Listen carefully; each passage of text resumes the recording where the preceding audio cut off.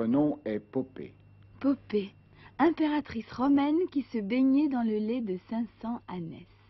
Vous êtes un teckel femelle à poil dur, et votre taille vous expose à la pollution de la très basse altitude.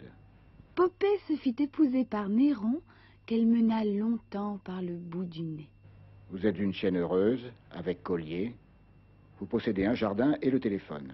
Cependant, Néron finit par donner à Popée un coup de pied dans le ventre dont elle mourut. Votre maître s'appelle Maurice Druon, écrivain, académicien, ancien ministre.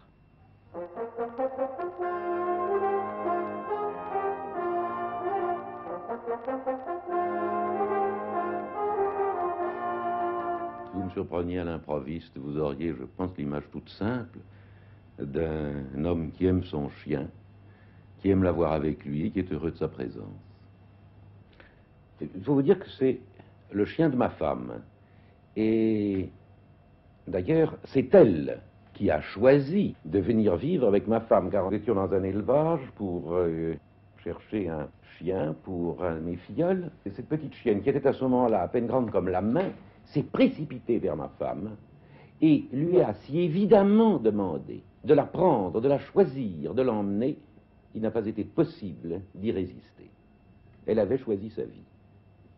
Et l'acceptez-vous également dans votre chambre, dans votre lit Vous savez, un teckel, euh, tous ceux qui en possèdent le savent, euh, il n'est pas question qu'ils finissent, qu'ils finissent ailleurs que dans le lit. On commence par dire non, euh, il sera là, dans son coin, dans son panier, on l'installera, et puis on le retrouve sur le lit, puis on le retrouve à l'intérieur. C'est ainsi, ils aiment ça. On ne peut pas leur résister. Vous arrive-t-il de vous interroger sur l'attitude de ce petit sphinx qui est le meilleur ami de l'homme? Vous savez, les vieilles expressions qui ont fini par euh, avoir euh, valeur de dicton ont une profonde vérité. Avec le chien, c'est vraiment le meilleur ami. C'est, je dirais même, l'ami. Car dans toutes les espèces, on dirait que le chien a été créé pour aimer l'homme, que c'est sa vraie, sa profonde fonction. Et d'ailleurs, si vous, si vous voyez les gisants, les gisants, vous avez au pied des princes un lion, parce que c'est le symbole du courage. Au pied des reines, au pied des femmes, c'est toujours ou un basset ou un lévrier, parce que c'est le symbole de l'amour et de la fidélité.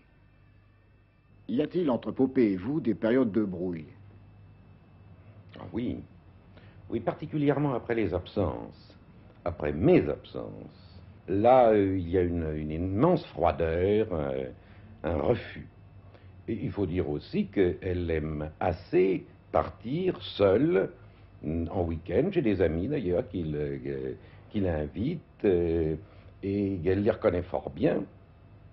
Car quand elle les voit, elle se dirige immédiatement vers le placard où son sac de voyage est rangé. Elle montre son indépendance en s'absentant elle-même. Ce qui est amusant aussi, c'est euh, son comportement, son euh, envers ce qui est sa propriété. Euh, je dirais ses jouets. Elle a des amis qui lui apportent des jouets. Et quand ils viennent, ensuite, elle va parmi ses jouets chercher celui qui lui a été donné et vient le leur apporter. Leur témoigne une gratitude. Il lui est arrivé également euh, un chien d'amis venant dans la maison qu'elle euh, qu'elle aille prendre l'un de ses jouets pour le lui apporter en cadeau.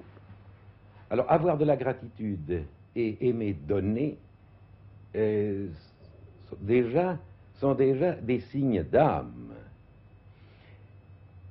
Et puis un jour, elle a fait une chose tout à fait curieuse. Elle avait déjà deux ans, trois ans.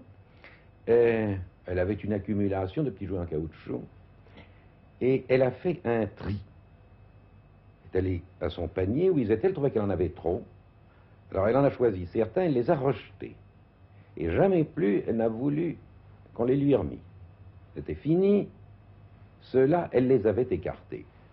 C'est une histoire entre vingt autres, euh, et chacun d'ailleurs qui aime son chien pourrait sans doute en raconter autant.